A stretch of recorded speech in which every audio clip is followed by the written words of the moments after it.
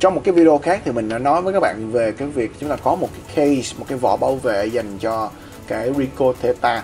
Thì đây là cái case mà mình nói trong cái phần cuối video trước. Là nó gấu hơn rất là nhiều với cái vỏ này. Ta có thể sử dụng với Theta S, Theta SC và Theta 5 tức là ba cái con thuộc phân khúc tầm trung và cao cấp của Rico Theta. Bây giờ mình sẽ lấy cái này ra cho các bạn xem bên trong nó bao gồm cái gì. Và đặc biệt nhất đó là cái cái vỏ đi kèm này. Đây cái vỏ tí nữa mình nói cái này sau. Ở bên trong có một số những phụ kiện đi kèm. Hầu hết đều là những cái uh, phụ kiện để chúng ta có thể sử dụng và dán lên trên những cái Rico Theta này bọc nó lại để chúng ta có thể sử dụng chắc chắn hơn. Tại vì nó sử dụng được tới à, ba uh, loại là, là Rico Theta S, Theta SC và Theta 5 cho nên những cái loại này nó có một cái sự khác biệt nhất định về cái cái cái uh, lớp vỏ bên ngoài nó có lớn nhỏ thì chúng ta sẽ sử dụng những cái miếng này để mà cố định và làm cho nó vừa vặn hơn với cái khung. Đó là tất cả những phụ kiện đi kèm. Đây là cái case ở mà mình nói lúc nãy. Thì cái case này á, nó có cái tên là underwater housing dành cho Rico Theta. Đây ở phía bên trên này nó có cái tên.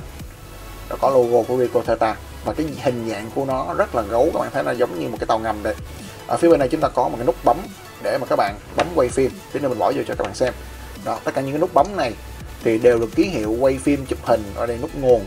Thì các bạn đơn giản để mà có thể sử dụng tương tác trực tiếp trên này không giống như cái giỏ mà hôm bữa mình đã có giới thiệu với các bạn. Để mà bắt buộc phải sử dụng phần mềm hoặc là bấm quay trước rồi mới bỏ vô.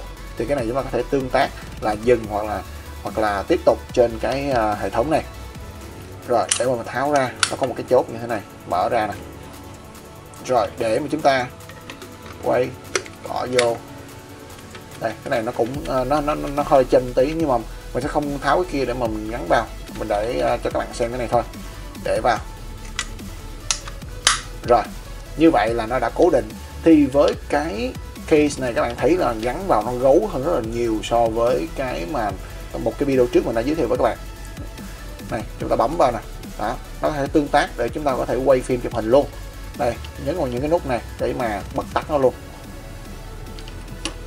Thì cái lớp vỏ này cũng có thể lặn sâu dưới 30 mét trong vòng khoảng à, một tiếng.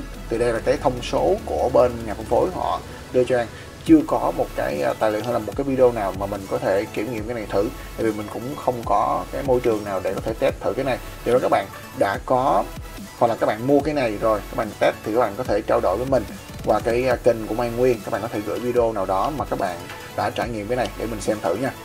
Mình à, rất là mong chờ những video của các bạn khi mà các bạn trải nghiệm cái vỏ này. Rồi à, chia sẻ với mình.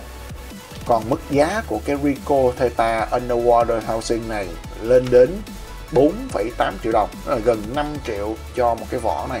Thì mức giá của nó cũng rất là cao như lúc trước mình đã có nói. Tuy nhiên với những gì mà các bạn thấy là cái độ gấu của nó và cái khả năng bảo vệ cái Ricoh Theta camera.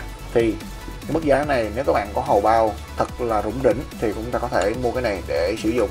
Quay video 360 độ ở dưới nước, rất là tuyệt vời. Và thông tin chi tiết khác về cái underwater housing Ricoh Theta này các bạn có thể tìm kiếm thêm trên website vn hoặc là phía dưới phần description mình đã có để các bạn có thể xem. Ngoài ra thì à, các bạn có thể lên website để xem thêm cái bài thu thập của mình mình có giới thiệu kỹ hơn về cái này. Rồi xin chào và các bạn trong video công nghệ lần sau.